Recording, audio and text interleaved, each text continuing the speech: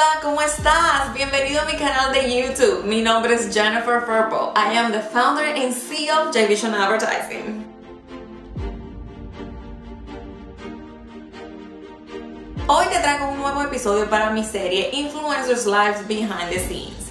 En hoy es un episodio muy especial, ya que mi invitada especial tiene no solo un tremendo imperio en las redes sociales, sino que también es dominicana al igual que yo y es tremenda emprendedora. Pues ella hoy vino a contarnos su historia y sus estrategias de redes sociales y de cómo tú también puedes crear tu propio imperio. ¿Quieres saber cómo ella lo hizo? Pues sígueme para ver su historia.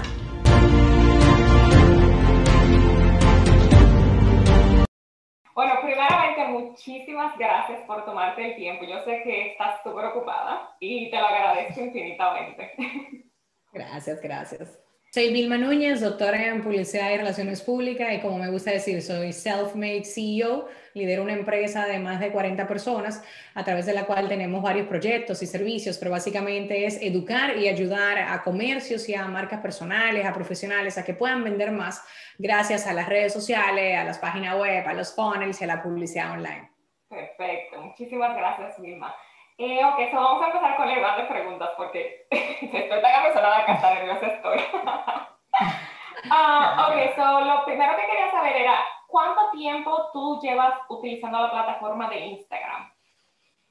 Wow, eso sería súper interesante. Yo creo que incluso te pone cuando tú la abriste. Yo no me acuerdo, pero yo creo que fue del principio porque yo soy dominicana y bueno, nosotros en Latinoamérica hacemos siempre un uso bastante activo de las redes sociales. Yo empecé por Facebook, tengo que reconocer, como hacer muy, muy, muy fuerte, inclusive cuando Instagram existía. Yo le decía, no, no, no, Instagram yo lo veía como el álbum de foto mío que yo tenía. Entonces yo lo veía más como para recordar los sitios que yo visitaba, eh, las quedadas con mis amigos, eh, como esa parte, era un álbum como más bonito, donde yo filtraba una imagen que recopilara, ¿no? Entonces, para eso era que lo veía, así como en aquel momento existía Foursquare, que yo no sé si alguien se acuerda de eso, que uno hacía check-in de los lugares para uno tenerlo, yo lo veía más así. Y yo mantuve, eh, comenzando mi marca personal, Facebook como la plataforma realmente líder. ¿Qué pasa? Eh, me di cuenta muy rápido que el tema del consumo de Facebook se había quedado en algunas edades, pero que todo empezaba a migrar por Instagram y tuve que comerme mis palabras de eso de que yo he ido allá muchísimas conferencias. No, Instagram es solamente mi vida personal. Si tú quieres saber mi vida personal, sígueme en Instagram. Porque de repente me vi, no sé, como con 30 mil, 40 mil seguidores que yo no publicaba nada de trabajo, pero estaban ahí, pero me seguían a Vilma porque Vilma había tenido un éxito a nivel profesional porque yo a nivel personal tampoco es como que yo compartía tampoco todo de mi vida. No estaba trabajando esa parte de lifestyle, por así decirlo, ¿no?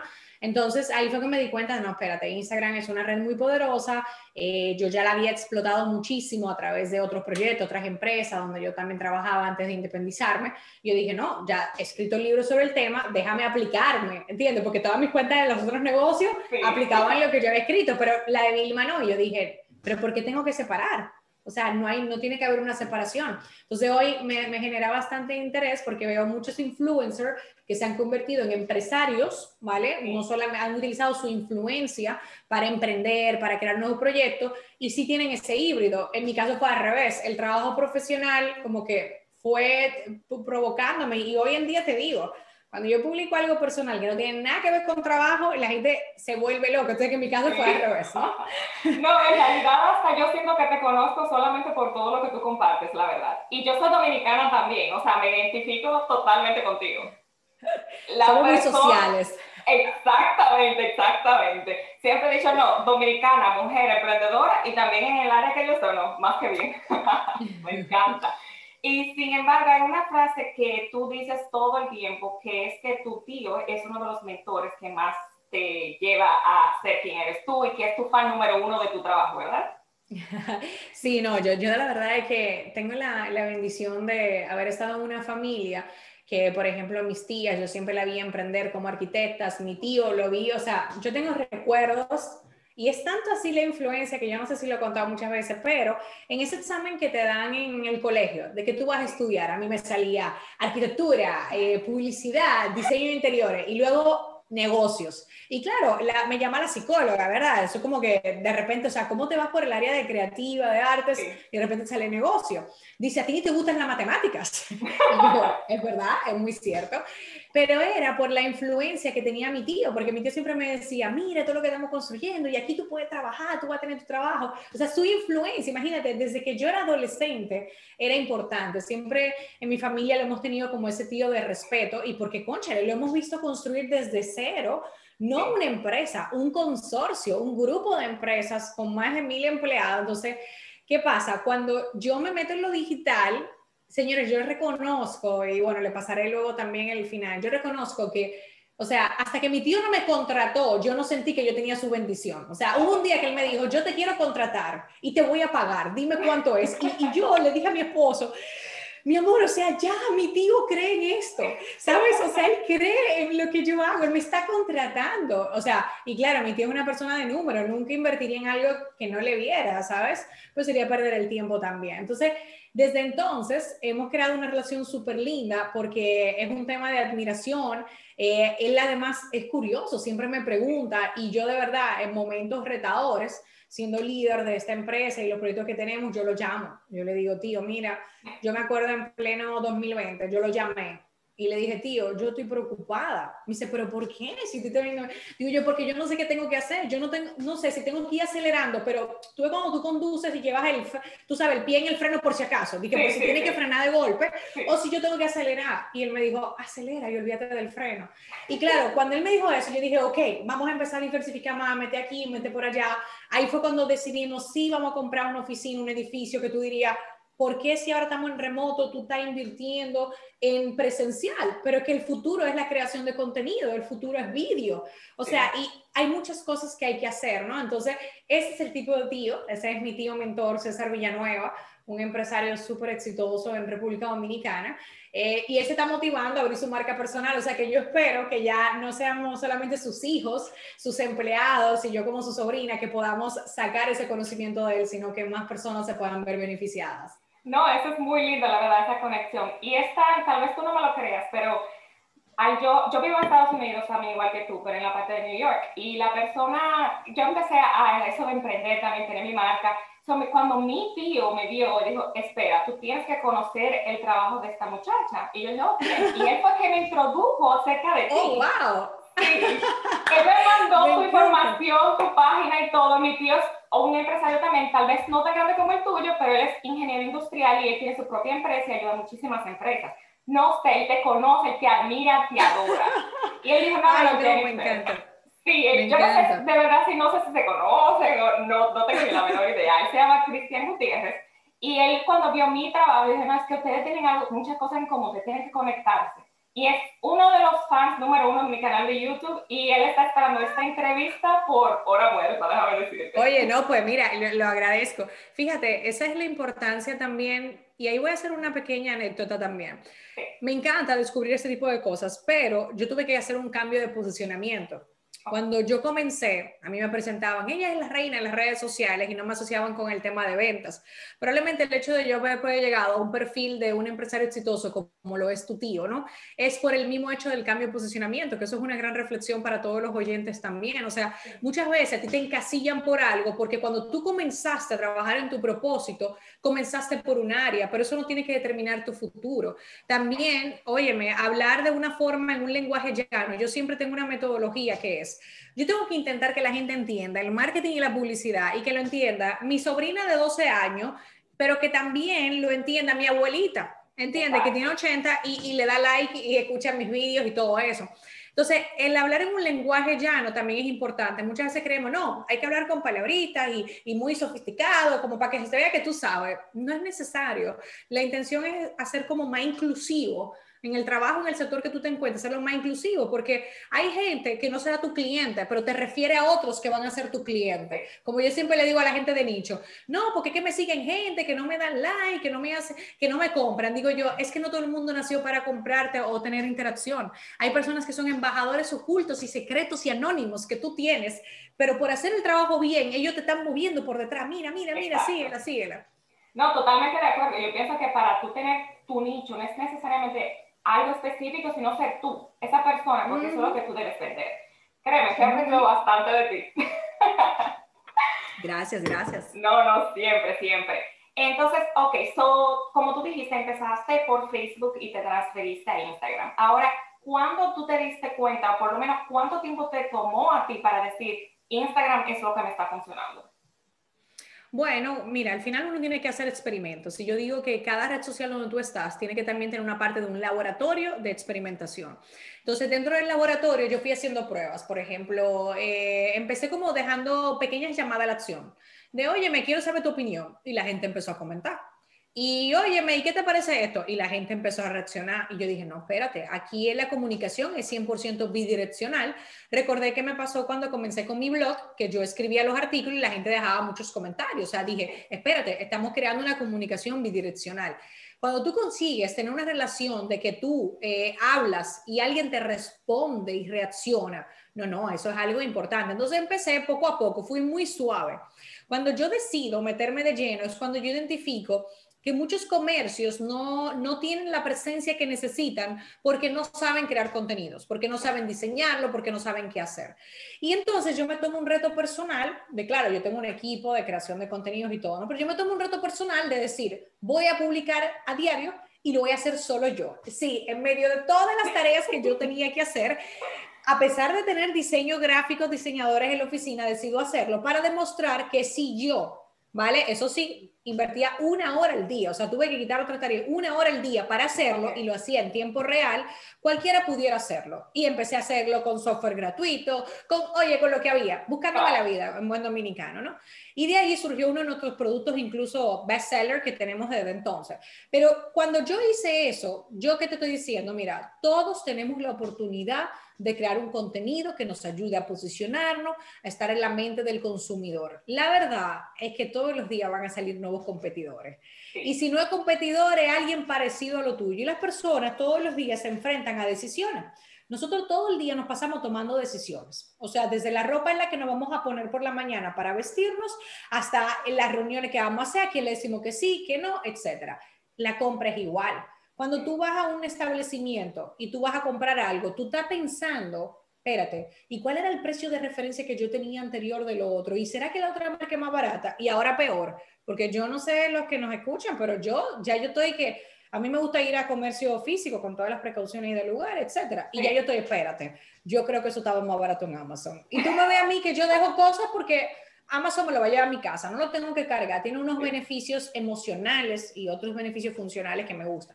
Entonces, ten en cuenta que la gente está todo el tiempo así, o sea, tomando decisiones. Entonces, tú necesitas obligatoriamente el contenido, que es de lo que te va a diferenciar. Tú me decías, ah, no, te he visto, la esencia de marca es única. O sea, tú puedes intentar imitar el mismo contenido de alguien, pero tu esencia es única. La forma en la que tú escribes, por más que tú intentes copiar, si tú le metes tu personalidad, tú te haces única. Y todas las marcas deberían hacerlo. No, sí, muy, pero muy bien dicho, porque he visto muchísimas personas ahí que quieren hacer contenido diario y quieren estar presentes, pero copian todo lo de los demás. Tú tienes que ser tú. Lo que te funciona a ti no me va a funcionar a mí necesariamente. Yo tengo que ser yo y tener mi chispita y ver qué, funciona y qué no me funciona. Y no, en realidad, algo que, que sí es un poquito curioso Tú empezaste toda esa trayectoria online, digitalmente, haciendo tu, tu, empresa de cero, ¿verdad? Tu marca personal y convierte más que es tu empresa. Pero nunca pensamos que hoy día sería tan esencial estar en las redes por la pandemia, ¿verdad? Que la pandemia yo sé un tema que nos cansa, que estamos cansados ya de eso, no queremos hablar de eso, pero en realidad hay que, tú sabes, hay que mencionarlo un poquito porque sinceramente es increíble. So, eh, yo sé que dijiste que te sentías un poquito abrumada cuando hablaste con tu tío en el 2020, pero cuéntame, ¿cuándo, ¿cómo fue el antes y el después de la pandemia? O bueno, durante, porque no ha pasado. Claro, no, al final fue una aceleración. Yo creo que sin importar el tipo de tamaño de negocio o lo digitalizado que estaba, aceleró la digitalización. Es decir, nosotros, por ejemplo, hicimos una migración muy grande del software de CRM, email marketing que teníamos y venta a uno todavía más robusto, ¿Por qué? Porque el tema que pasa es que muchas veces tú dices, quiero más clientes, pero tú no estás pensando en la facturación del cliente y no estás pensando que en el crecimiento de un negocio los costes también suben, porque aparecen nuevos costes y nuevas herramientas en las que tenemos que invertir, nuevo equipo personal. O sea, crecimiento, aceleración muchas veces es costes más altos por el equipo de nómina, ¿vale? Porque tú también te pagues mejor, porque bueno, también hay varias cosas, y por las herramientas, las inversiones en ads y todo lo que conlleva, ¿no? Entonces, nosotros en el 2020, ¿qué hicimos? Nos hicimos más robustos con los cimientos.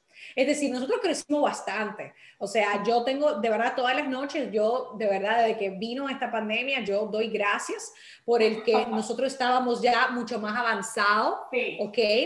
También pido que, o sea, de verdad, la sabiduría y lo necesario para poder ayudar a otros a que si como quieran no lo habían hecho, puedan ahora conseguirlo en pequeños pasos firmes, porque al final lo que la gente cree que hay que hacerlo todo rápido. Y todo el crecimiento que yo he tenido, tanto mío personal como Vilma Núñez, como en mis empresas, eso va despacio, o sea, eso va paulatinamente, son pasos despacito, pero firmes. ¿Por qué? Porque los cimientos es importante. No podemos construir, imagínate un edificio de, no sé, 100 pisos con una estructura base que no aguante esos 100 pisos. Entonces ahí es donde están los procesos, ahí es donde está, por ejemplo, nosotros crear nuestra propia metodología de trabajo, es donde está, por ejemplo, que nunca te va a fallar. Los ads pueden dejar de funcionar, pero el contenido orgánico, lo que tú publicas de forma orgánica con la audiencia, con la comunidad que tú tienes, eso siempre está ahí.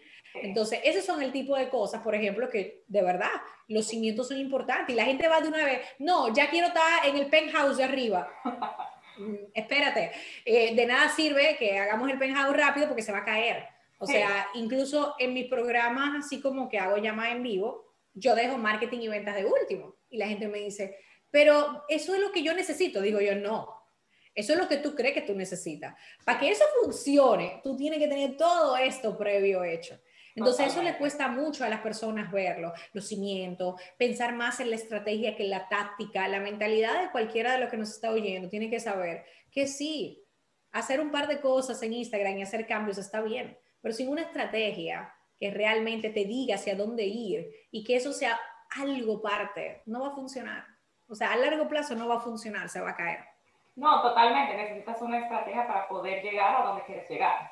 Ahora, y hablando de estrategias, la pregunta que todos se hacen, ¿cuánto tiempo deben durar usando la plataforma? ¿Cuánto tiempo deben, qué es lo que, qué estrategia en particular tú utilizas para, ya sea como engagement, eh, obviamente los likes, yo sé que tú haces muchos likes, pero ¿cuánto tiempo tú duras haciendo ese engagement en la plataforma? ¿Y cuántas veces tú publicas, perdón? Sí, no, claro, claro. Eh, mira, lo más importante es tú convertirte en un usuario conocedor de la plataforma. Por ejemplo, en TikTok, ya yo ahora estoy empezando a terminar de estabilizarme en la oficina, ya yo quiero todos los días sacar mi TikTok desde la oficina, algunas veces prehechos, etcétera pero yo llevo dos años siendo usuaria de TikTok, o sea, gozando antes de irme a dormir, entre chistes, risa, entretenimiento, educación, porque hay muchas personas que me ayudan y me educan a través de TikTok.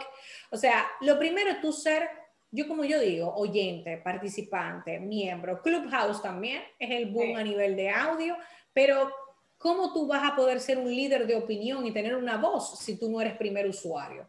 O sea, para mí hay que tener como una coherencia. Entonces, lo primero es ese, el primer paso es ese. El segundo es encontrar un método tuyo propio. Por ejemplo, yo utilizo un formato en Instagram que son los carruseles, pero este formato yo no me lo inventé, se lo inventó Instagram cuando dejó la funcionalidad. Entonces la gente lo usaba para subir varias fotos. No, pues ahora se hacen carruseles con un inicio, un fin, 10 diapositivas, 10 imágenes, 10 vídeos, como queramos llamarle. Ahora, como nosotros explotamos los carruseles, por ejemplo, en mi cuenta de Vilma, es con lunes storytelling y contamos cosas muy complicadas en un formato de storytelling cálido, con humor, cercano, o sea, para que la gente tenga una conexión. Entonces, yo estoy utilizando la misma funcionalidad que todo el mundo, pero yo le puedo dar mi toque único. Entonces, lo que yo quiero que tú te imagines es que tú tienes una, una caja de herramientas frente a ti, que eso es lo que son las funcionalidades de cada red social, por ejemplo Instagram. Ahora, ¿cómo tú usas estas herramientas? Si tú en vez de mirar a los demás, ¿qué están haciendo con la caja? Te enfocas en la caja, en lo que tú tienes. Créeme que en un ejercicio te pones un playlist de música y haces un ejercicio, espérate, yo tengo que hacer magia con lo que tengo, que es uno de mis lemas. Voy a hacer hoy lo mejor que puedo con los recursos que yo tengo hoy.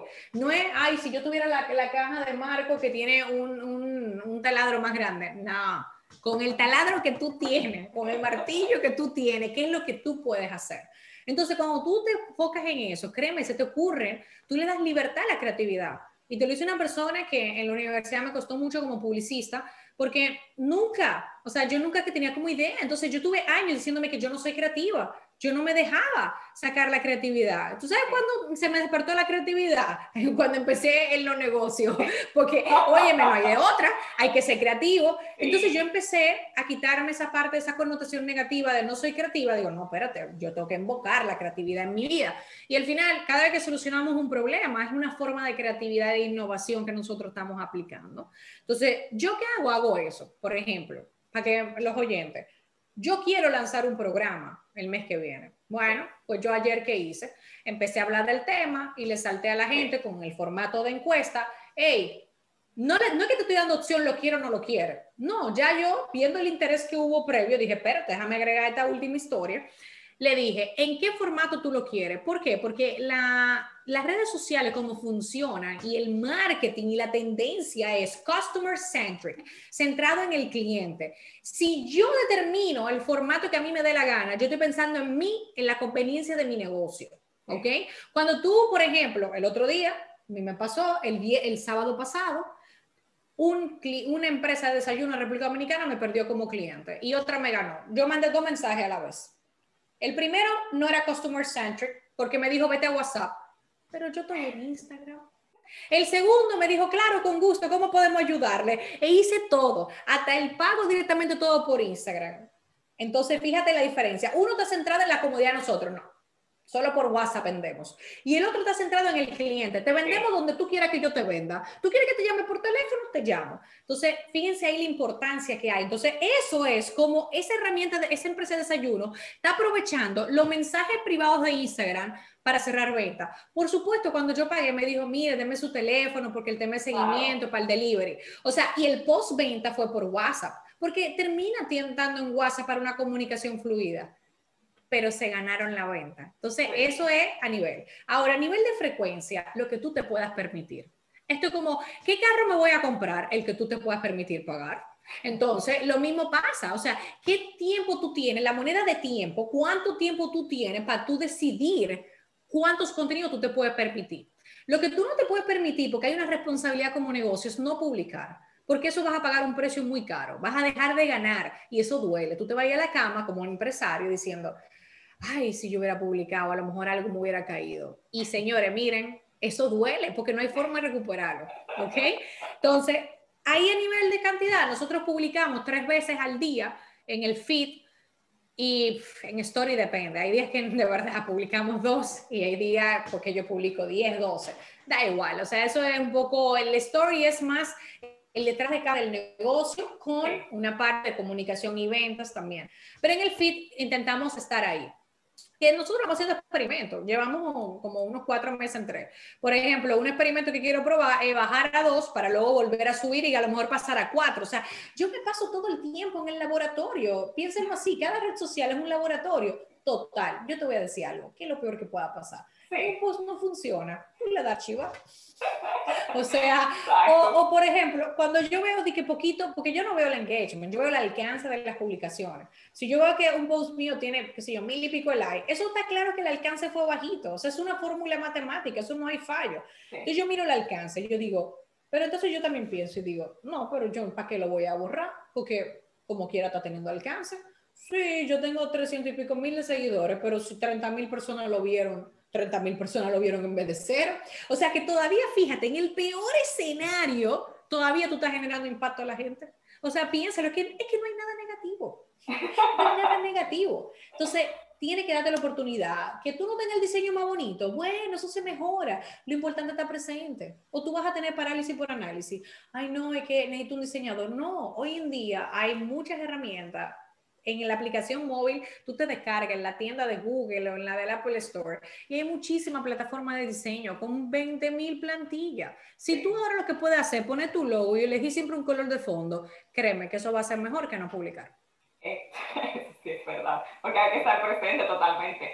Entonces, ok, sí, yo veo que muchas personas eh, compiten con esta parte. Yo sé que tú dijiste de los carruseles y eso, que tratas de publicar tres veces al día y que obviamente las stories es totalmente diferente porque eso depende del día y de lo que quieras publicar, ¿verdad? Totalmente de acuerdo. Ahora, muchas personas dicen que tú no deberías publicar, por lo menos en el feed post, más de tres veces. ¿Tú crees que eso sea cierto? No. Mira, todas las cuentas grandes, por ejemplo, de memes, de frases de motivación, de grandes líderes de opinión, no sé, Gary Vee, eh, Grant Cardone, o sea, gente que se me ocurren así de cuentas grandes, publican no tres veces al día, ocho veces al día, siete oh, publicaciones al día. Y tú sabes que cada una de esas publicaciones tiene el impacto. O sea, y de repente yo las veo, o sea, una, pero no vi las otras seis, a no ser que digo, espera, déjame ponerme al día con el tema del contenido.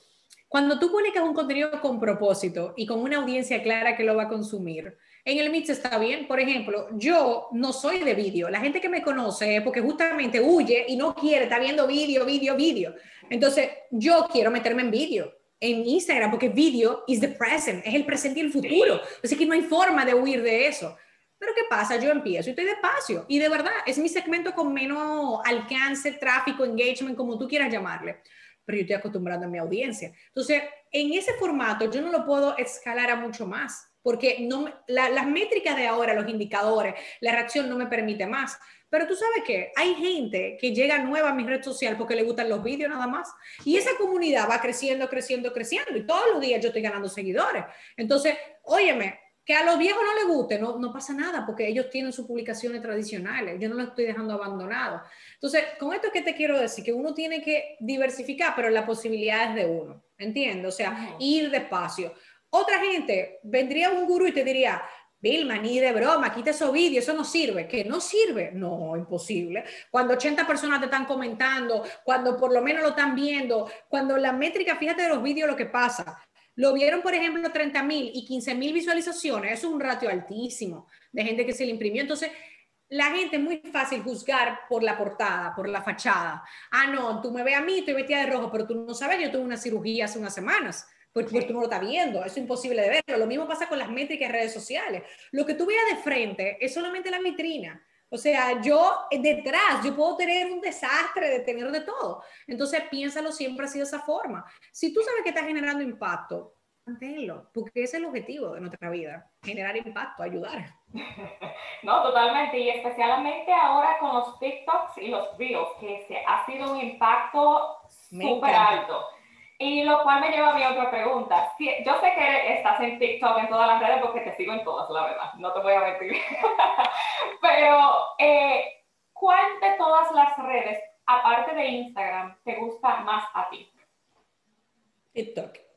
TikTok. Eh, y yo consumo mucho el formato de reel de, de, Instagram. Yo confieso que cuando estoy saturada, yo ni voy a mi feed, ni voy a mi bandeja de mensajes y yo me voy a explorar de Instagram y me voy a, al reel que sale destacado, que siempre va a estar a mano derecha, bueno, al momento de grabar eh, esa entrevista, y empiezo ahí a consumir. Voy en scroll infinito porque para mí eso es como si fuera otra cuenta que yo tengo. Entonces ahí siempre me salen cuentas nuevas. O sea, entonces yo me, me la paso como en mi bucle, ¿vale? Y TikTok también lo que me gusta es eso. Entonces, ¿qué es lo que pasa?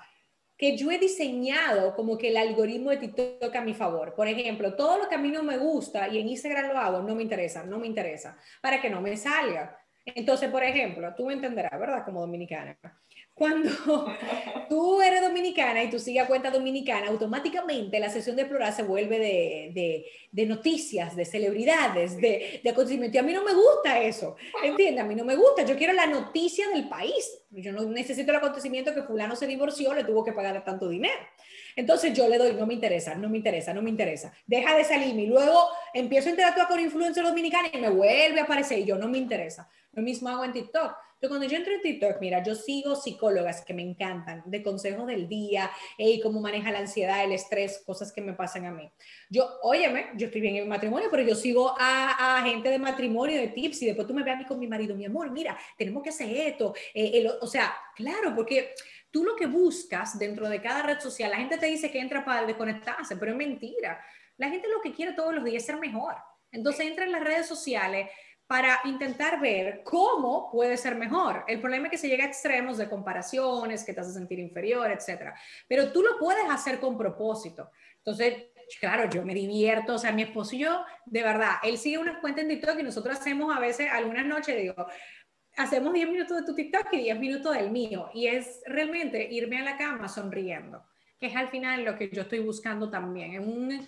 Ambiente de tantas noticias negativas, de tantos acontecimientos negativos, de cosas familiares que te afectan, es necesario la desconexión. Así que yo creo que ahora mismo como mi mix es como Instagram con la parte de TikTok. ¿Y qué piensas de Clubhouse? Que es algo que está trending ahora mismo. Me gusta mucho, lo veo muy elitista todavía, eh, por eso no estoy dedicándole mucha más energía. Preferiría dedicarle energía a TikTok, que tiene un algoritmo gratuito que te hace viral y famoso o famosa el contenido. Sí, tú estás esperando. Bueno, hay que, hay que ser. Yo he tenido nada más pocos virales, tú sabes, pero cada vez que yo tiro un TikTok y digo, mira, di que 10 mil views. Tú sabes, lo, tú, tú y yo entendemos lo que cuesta conseguir 10 mil views en Instagram, en Facebook, en YouTube. O sea, no, ya, ya eso es misión imposible, ¿tú entiendes? Entonces, yo siempre digo, mira, da igual, 100, 200, 500, 1000 son nuevas, son gratis que tú no le ibas a tener. Entonces, es cuestión, pero Clubhouse me gusta mucho. El, el, futuro es voz, nosotros ya estamos innovando, yo llevo un año trabajando en unos proyectos míos nuevos con el tema de la voz, porque al final reconozco el consumo. O sea, mi hija tiene una Alexa de juguete porque en esta época los padres tenemos que evitar las tabletas y las cosas, pero mi hija ya está acostumbrada a hablarle. O sea, el colmo de mi hija fue el sábado, me dijo, mamá, va a llover, yo iba saliendo. Y yo, ¿cómo que va a llover? ¿Quién te dijo a ti? Me lo dijo Siri. No, yo, yo caí muerta, o sea, yo caí muerta. Porque ella le habla a Siri, le pregunta, ¿va a llover? Porque ella sabe que no puede salir a la terraza si llueve. Entonces, como se le explicó, eso, ella va a Siria a preguntarle el fin de semana si va a llover para ella saber si puede jugar. o sea, es como que la tecnología es así. Entonces, claro, el futuro es voz también. La voz está haciendo ahora como fue el vídeo hace unos años. Entonces yo recomiendo que a todo el que se pueda subir, cada vez que tú te puedes subir a ese tren de una tendencia, tú lo que vas a tener es horas de experimentación, o sea, vas a ser experimentado vas a ser como el abuelito cuando lleguen los demás. Como yo me siento ahora y tú te sentirás cuando la gente viene ahora a redes sociales, yo me siento la abuelita en las redes sociales, pero yo estoy feliz de sentirme, porque eso es sabiduría. Tengo años de sabiduría. Sí, no, no, claro, claro. Y no, yo sé que tú tienes bastante tiempo en las redes. Yo personalmente lo utilizaba antes, como decías tú, ah, que cuando salía, si la foto, que contara, así, pero no publicaba todo. Y la dejé de usar por un tiempo bastante largo hasta que te dije, no, ya yo quiero emprender, yo quiero sacar mi propio negocio y renuncié a mi trabajo prácticamente. Y dije, yo, yo voy a hacer lo que tengo que hacer. Y me siento muy eh, como compenetrada con eso, porque es que es algo que tú estás dando una educación y estás dando valor a una audiencia que quiere seguirte, que quiere aprender de ti. Y totalmente de acuerdo contigo. Las redes son lo máximo, la verdad, cuando se trata de negocios. Sí, 100%. Ahora, la pregunta que me lleva a todo esto es, sí, es, es bueno estar en todas las redes, pero yo soy las que pienso que no deberías empezar en todas las redes desde el principio, sino elegir una y más o sea, más Siempre es así, siempre es así. O sea, imagínate, una de mis metodologías de negocio es diversificación. Y la gente me dice, pero tú vas a encontrar lo que dice todo el mundo que te dice que te enfoque. Digo yo, no, el problema de, de algunas personas que te dicen, eh, que solo hagas una cosa a la vez, es que no trabajan tu mentalidad de abundancia y de visión. Entonces te encasillan que solo piensen algo. Si eso no funciona, tú no tienes un plan B, ni tú tampoco tienes un plan a largo plazo. Entonces, yo qué te digo, diseña un plan. Ok, ¿cuáles son tres redes sociales que tú quieres estar? Y ponle en orden de prioridad para ti. Pero el orden de prioridad para ti, adivina quién lo decide, no eres tú. La pregunta es, ¿dónde están mis clientes? Tú tienes que preguntar, ¿dónde están tus clientes? Ah, que resulta que están en TikTok. Pues mira, busca la, la, la forma porque la número uno tiene que ser TikTok. O sea, tú tienes que aprender a utilizarla, tienes que quitarle el miedo y a veces el miedo ni siquiera es malo, te hace como que quede mejor. Entonces, ese tipo de cosas son las importantes, pero tú tienes que ponerte y decir, espérate, tú estás estable. ¿Qué significa estable? Ya tú publicas, hay reacción. Bien, ya, pasamos a la próxima. Y entonces tú siempre vas a tener una estrella. En mi caso, mi estrella es Instagram. Yo siempre voy a tener una estrella, pero yo no sé si el año que viene va a ser Instagram. ¿Qué sé yo? Vete tú a ver si ahora yo, ahora estando en la oficina, me meto en TikTok y resulta que TikTok es mi nueva plataforma, la que me divierte, la que amo y la que me da más negocio también. Puede ser. Entonces, ese es el plan. Yo creo que hay, si hay que ser un canal pero Señores, la única estrategia de negocio, de marketing que nunca falla es el sentido común. O sea, tú quieres estar en todo. La única forma de estar en todas es reciclando. Por ejemplo, yo dije, en este 2021 le dije a mi equipo, no puedo dejar de no estar en TikTok. Entonces, ¿qué están haciendo ellos? Reciclan el vídeo de, de, Instagram, que en Instagram tú lo ves y tiene 5 mil views, pero tú te vas a TikTok y tiene 20 mil el mismo. Sí, totalmente. El mismo. Entonces, tú también tienes que saber eso, que tú puedes reciclar el contenido y también es una forma de estar en otras redes, pero te voy a confesar algo. A mí no me está funcionando de que, ay, que estoy creciendo rápido en seguidores. ¿Por qué? Porque estoy reciclando. Es decir, estoy ganando tráfico, pero no estoy teniendo un crecimiento de que, ¡boom! No. Cuando yo me ponga y diseño un contenido solo hecho a la medida para TikTok, voy a disparar. Ahora mismo estoy en mantenimiento, pero es una estrategia que yo digo, prefiero estar en mantenimiento, que por lo menos algo me cae, que estar inexistente, que ser invisible, ¿entienden? Una red que está en crecimiento y que mi sector se está desarrollando bastante rápido. No, y yo creo que todo depende, como dices tú. TikTok es algo que tú simplemente te pones viral de la nada sin saber por qué fue que pasó, pero pasa. Pero en mi caso es todo lo contrario. Cuando yo empecé a hacer los, los pequeños videos, empecé con Reels y tengo unos cuantos reels que se han ido 4.000, 5.000, 7.000. Yo no tengo tantos seguidores como tú, pero, no, pero óyeme, para mí eso es excelente. Eh, eh, óyeme, si eso es más de tu media, felicidades. O sea, siempre uno tiene que buscar la media. Todo lo que esté encima de tu media, hay que celebrarlo. Exactamente. por eso que yo digo, ¿cuándo será que se me va a pegar un video? Son los mismos videos de Reels y de TikTok y no sé cuándo se me va a pegar el video en TikTok. Ah, hay que, porque tenemos que buscar el ganchito, hay que buscar, un buen dominico, hay que buscar el sazón, donde, ¿cuál es el punto de sazón? Ahí te, no está faltando algo. Sí, pero óyeme, cuando uno descifra eso, uno se vuelve imparable. y esa es la parte linda que hay. Totalmente. Entonces, fuera de las redes, ¿cuándo empieza Vilma fuera de las redes y Vilma dentro de las redes? Porque tienes que decirme, tienes que separar tu vida. Sí, no, no, yo, yo me separo, o sea, sí que es verdad que mm, mi, mi, vida es también mi familia y yo la hago partícipe en las redes en la medida de lo que hay. A mí me dicen, yo tuve esa conversación cuando yo eh, nació mi hija, tenía varias amigas, inclusive dos o tres personas reconocidas en República Dominicana, que me preguntaron a mí cómo yo iba a tratar el tema de los hijos y las redes, o sea, a nivel de lo que hay, porque hay dos... Eh, fuentes muy separadas. Es no pongo a mi hijo, no lo expongo para nada, pero es mentira porque luego le ponen un emoji en la cara, con lo cual sí lo están exponiendo, ¿vale? O sí lo hago. Pero el problema es que los dos son buenos y respetables. Uno, no quiero que todavía porque mi hijo no decide. El otro, doy por entender que respeto a mi hijo y a mi hijo no le va a pasar nada, pero el problema son siempre los extremos. Ahí es donde está siempre el tema, donde que para mí en nivel general hay. Entonces, Claro, yo trabajo mucho con el sentido común, ¿no? Entonces, por ejemplo, yo, mi hija cuando sale, mi hija es famosa, ella tiene un club de fan. Cuando yo ella nació, yo le abrí una cuenta porque toda nuestra familia está en el extranjero. Pero la verdad, yo tomé por una señal, me cerraron la cuenta porque era menor de edad y dije, todavía nosotros no podemos acceder, pero la cuenta está ahí. Yo dije, pues mira, fue una señal. Yo lo hice como el álbum de fotos para pa, que la gente mira los mensajitos y lo empecé haciéndole dedicatorias a mi hija, escribiéndole como mensajitos y tal, pero me la cerraron y digo, bueno, pues ya, es una señal y no hay, ¿no? Entonces, yo uso mucho el sentido común. Hay cosas que yo no publico, por ejemplo, y me pasa de verdad, o sea, yo estoy en medio de un lanzamiento donde estamos vendiendo, donde yo me siento súper agradecida a la persona que confían en nosotros, cogiendo préstamos, pidiendo dinero prestado, endeudándose con la tarjeta, porque todos hemos hecho eso como emprendedores, joseándonos, buscando nuestro crecimiento. Cada uno tiene su propio lío. Hay gente que dice, no, es que si tú lo vendes en España es fácil. Digo yo, no. Hay veces que lo mismo mil euros, conseguirlo en un español es igual que le cuesta a uno en Estados Unidos o que le cuesta en Latinoamérica. O sea, no juzgues por el país donde residen tus clientes. No puedes juzgar por esa condición, ¿no? Entonces, claro, tú imagínate, yo digo, ay, conchale, estábamos viviendo un buen momento, pero no lo publico porque digo, ¿cómo puedo en medio de toda una cosa que estoy en venta publicar otra cosa que quizás va a sentar un poco raro o quizás osestoso o quizás como tal, pero era parte de mi vida, pero tú sabes qué, lo documenté, y lo, y lo guardé y lo tengo ahí. Ya está. Entonces, ese es el sentido común. Cuando a mí la gente me dice, ¿cómo tú diferencias una cosa de la otra? Es sentido común. O sea, no restriegues cosas sin necesidad.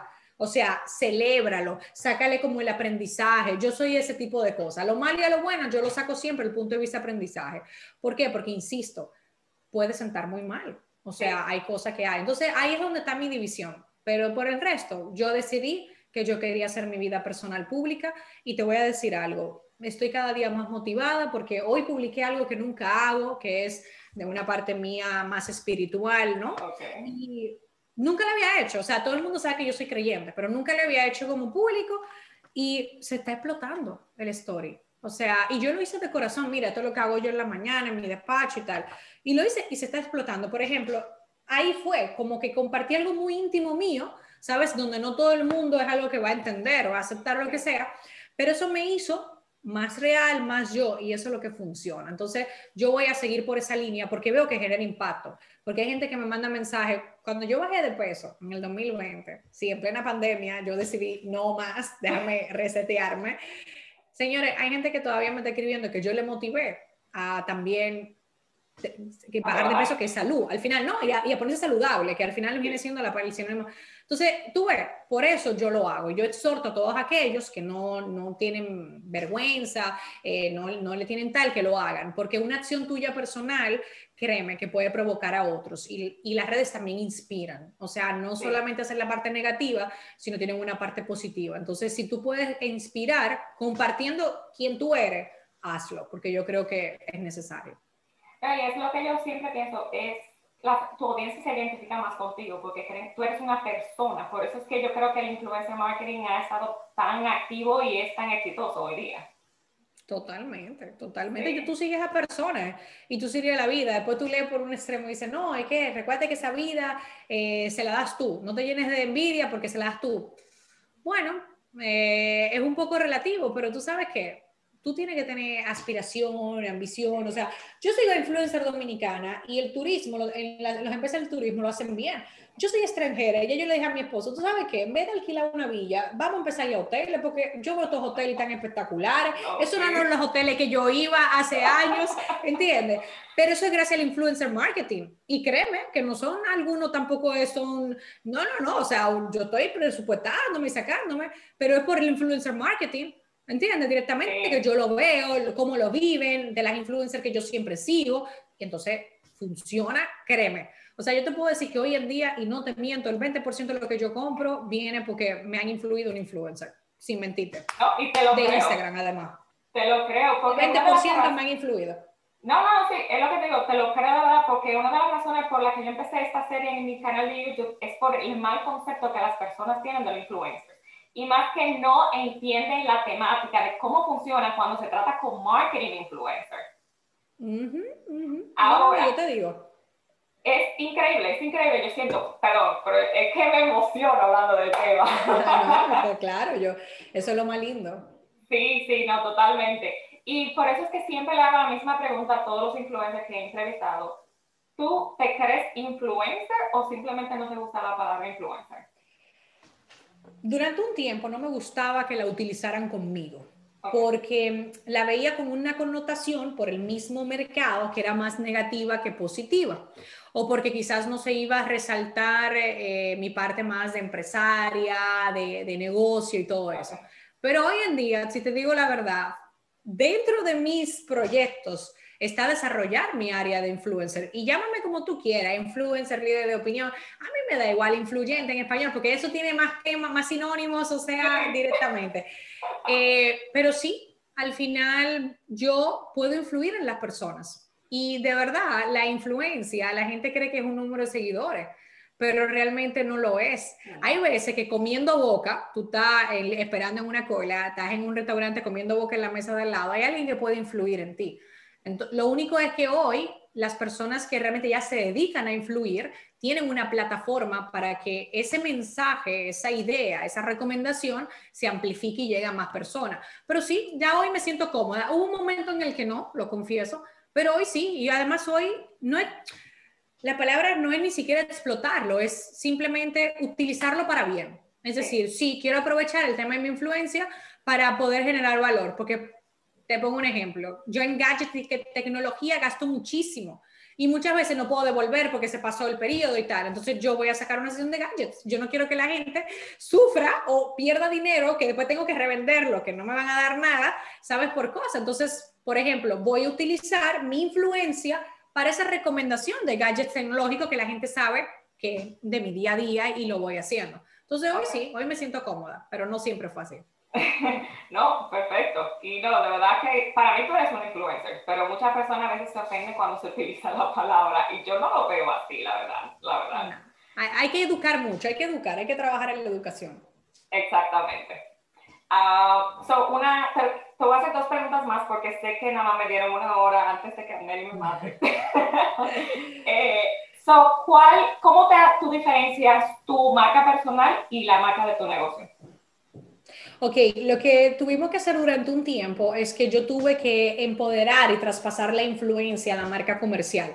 En muchas ocasiones, a algunos que nos escuchan le pasará al revés tuvieron un éxito con su marca comercial y ahora deben de crear la marca personal porque son el orador, son la cara, son la imagen, ¿no? Pero en mi caso fue al revés. Entonces yo durante mucho tiempo estuve empoderando, eh, mandando, o sea, empezando a hacer lo que es el co-branding, ¿no? El logo tuyo con el logo de la oficina. Y hoy en día tengo varias marcas y empresas que entre ellas también colaboran.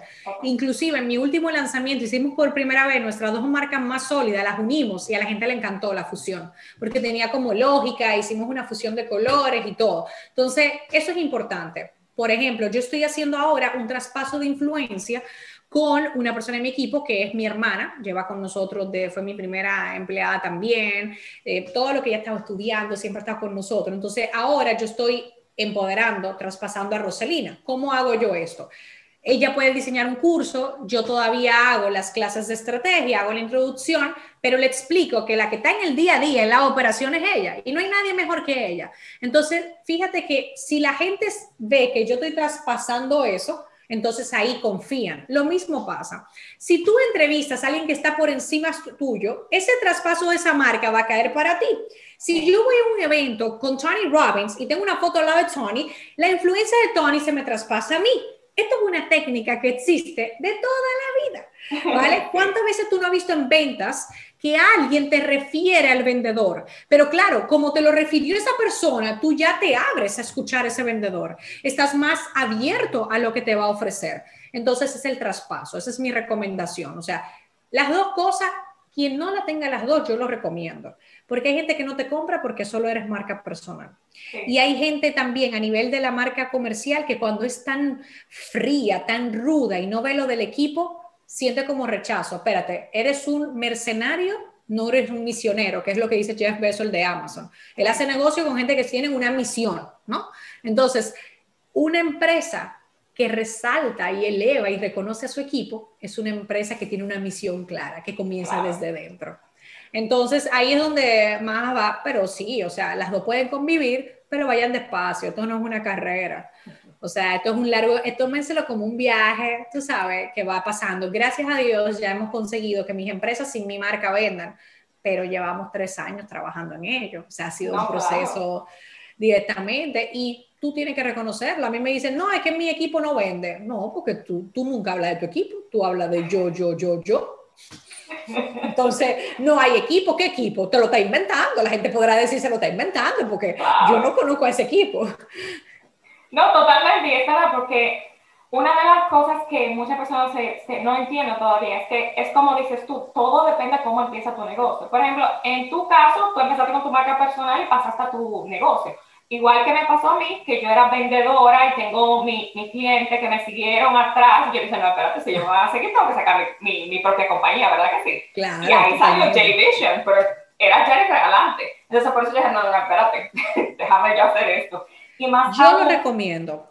Tener las dos es poderoso, ¿eh? Yo lo recomiendo. No, totalmente. Y gracias por, por, decirlo, porque a veces las personas no entienden esto, pero como tú eres una experta en esto, me imagino que a ti te dan caso seguro.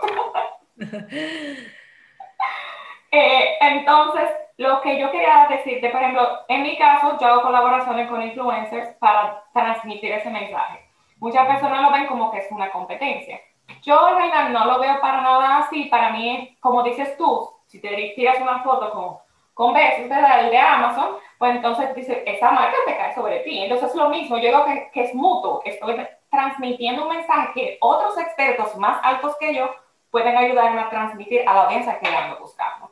Así lo veo. Es no, es que debe de ser así, ese es el enfoque. O sea, al final, yo por ejemplo, esta noche tengo un live, si no se mueve, eh, con otras personas, ¿no? En Instagram. Y eso es traspaso de influencia. O sea, mis seguidores van a seguir, si tuvieron afinidad y conexión, a esas personas con las que hago el live.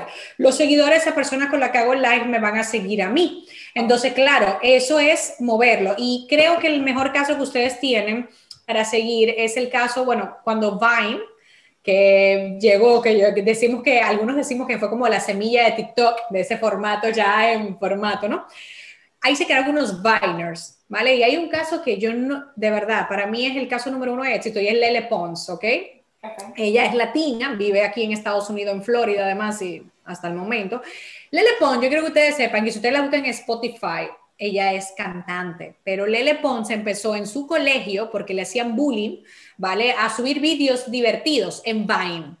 que eran siete segundos hace años. Y Lele Pons hoy es una artista, es una celebridad, es una chica de negocios también, tiene diferentes facetas de habilidades, pero ella y todo su equipo de amigos alrededor, que incluso ahora uno es boxeador, va a tener una, bueno, ahí hay, es por la rotación. Ellos, ella hacía un vídeo solo y después publicaba otro con dos amigos. Esos dos amigos a su vez publicaban con ella y con otros, o sea, y ellos, se dice, no hay fuentes oficiales, que crearon incluso un comité donde ellos ya oficialmente se reunían para hacer todo ese traspaso y todo eso y hacían las colaboraciones. Entonces, ellos son el ejemplo de la era digital, de cómo las colaboraciones funcionan. Y tú siempre tienes que aliarte a otros que tienen lo que tú no tienes. Tú hazte una lista, cuáles son mis fortalezas, ¿vale? Y cuáles son mis debilidades. Entonces, al tú poner la lista, por ejemplo, yo ahora estoy haciendo una colaboración contigo. Tú me estás hablando de influencer marketing. Es un tema que a mí me apasiona para entrarme. A mí me va a conocer una audiencia que no me tenía fichada. Porque, claro, como yo no toco ese tema, yo estoy siempre en marketing, ventas, da directamente. Ahora se me abre un, espacio. Eso es una debilidad porque yo no domino ese, ese espacio, ese nicho, ese sector, como queramos llamarle. Entonces, Ahí es donde tú tienes que ver lo que está en tus debilidades, con quien tú tienes que hacer alianzas, entrevistas, colaboraciones, lo que sea, porque eso es lo que te va a ayudar a expandirte. No, totalmente no. Yo creo que yo seré una celebridad en República Dominicana por ti. porque en realidad mi, mi, mi, contenido lo hago en inglés porque mis clientes hablan inglés, estoy en New York, como te dije anteriormente, claro. hablo en inglés. Ahora, yo no tengo esa audiencia dominicana que todo el mundo sabe quién eres tú, quién sabe. Yo dije, no, ahora me voy a hacer una celebridad con Vilma entonces. no, que va, yo todavía en mi propio país, o sea, cada vez soy una profeta, pero tampoco eh, soy tanto. Yo me voy dando cuenta por comentarios como los que tú me dices, o, o, porque de repente un día mi tío me dice, mira, me pasaron esto en un grupo, y digo, yo en tu grupo de amigos exitosos empresarios, o sea, wow, llegar a ese grupo, o sea, eso es nivel o porque algunos influencers que yo digo que tengo Insta Friends, ¿no? Eh, me dicen, mira, estaban hablando de ti y tal, que tú eres la dura. Y yo, oh, mira, interesante. Al final es complicado ser profeta en su propia tierra, señores. O sea, yo les voy a decir la verdad. Pareciera que mi tierra es más España que República Dominicana porque allí tengo una gran audiencia. O sea, bueno, sí, yo creo que va un poquito más a la par. O sea, de gente que te para en la calle que te reconozca, eh, va a la par un poco República Dominicana, pero España ganaría. O sea, si yo voy al centro de Madrid, es más probable que me paren. Tú eres Vilma, o sea, por el tema de la voz y los vídeos, que en República Dominicana todavía, lo confieso.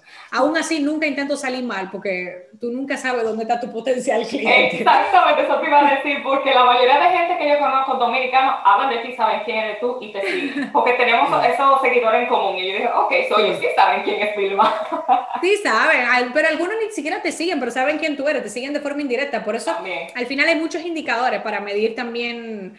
Fíjate, yo lo sé por el tema del grupo este. Si eso llegó a ese grupo, espérate, si me están reenviando, eso fue una colaboración. Entonces, de verdad, yo no tengo mucho tiempo, pero yo siempre saco tiempo para colaboraciones, porque de una colaboración puede salir una red de clientes y de embajadores, así como yo lo veo siempre. Y para mí, de verdad, total, mi descripción de puesto está tener que hacer eso.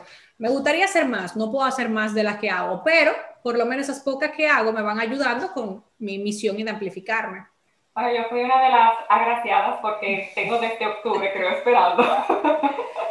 y yo dije, me gustaría que fuera diferente, pero... Sí, no, hay no, una pero reflexión. Valió la pena. Valió la pena. Hay una reflexión. para tú poder decir que sí a las oportunidades que te toca la puerta de la vida personal y, y la profesional, tú tienes que aprender a decir que no. Las prioridades de otros tú no las puedes imponer sobre las tuyas. Entonces, eso fue una lección que me costó mucho tiempo. Cuando tú comienzas, di que sí a todo, por favor, porque tú lo necesitas. Pero cuando ya tú estás trabajando en lo tuyo, tú estás enfocado, tú tienes que decir que no, tienes que aprender a decir que no, porque ese no es lo que te va a ayudar a tener tiempo para otras cosas. No, y totalmente, en realidad yo, como te dije, yo mi vida entera, yo tengo mucha experiencia en ventas y yo sé muy paciente y sé esperar porque yo sé cuándo me toca. y es increíble.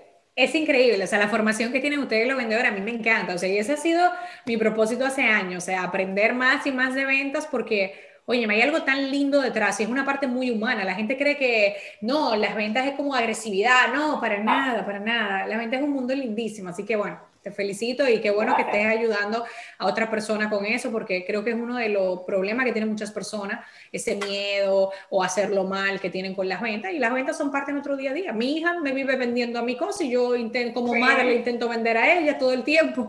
Totalmente. Somos vendedores desde que nacemos y no nos damos cuenta. Así mismo.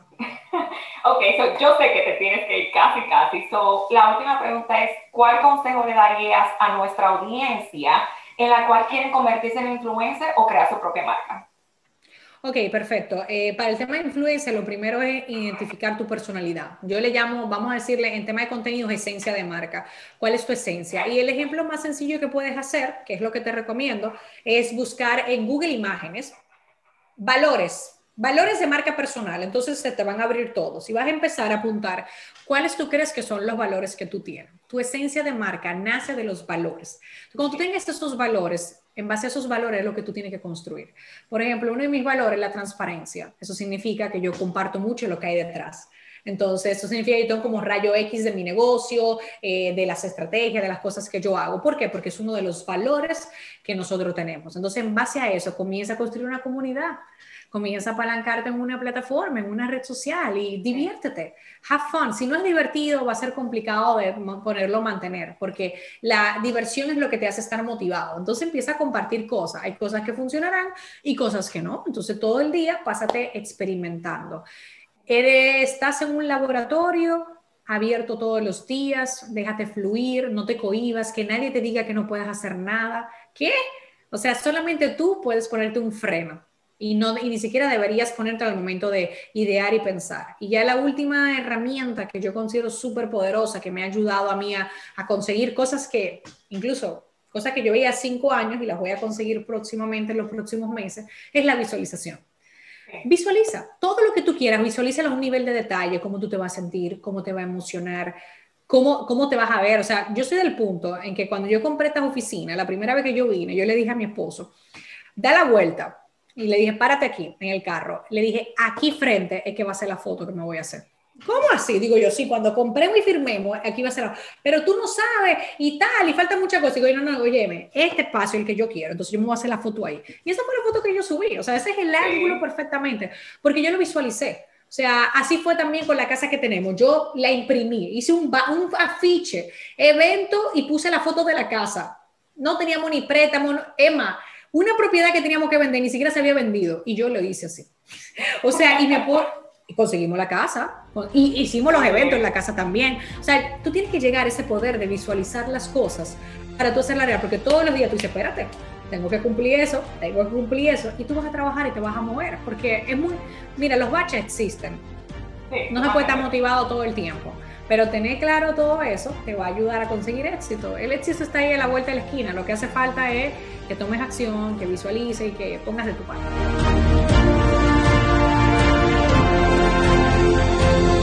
Gracias, mi amor. Igualmente. Chao, chao. Bye. Bye. ¿Quieres saber más acerca de nuestros servicios o te gustaría hacer una consulta conmigo? Por favor, déjame un comentario o llámame y trataré de contestar todas tus preguntas. Por favor, no olvides de suscribirte a mi canal de YouTube. Todas las semanas tengo videos nuevos. Si te gustó este, dale like y compártelo con todos tus amigos. Nos vemos en la próxima. Bye.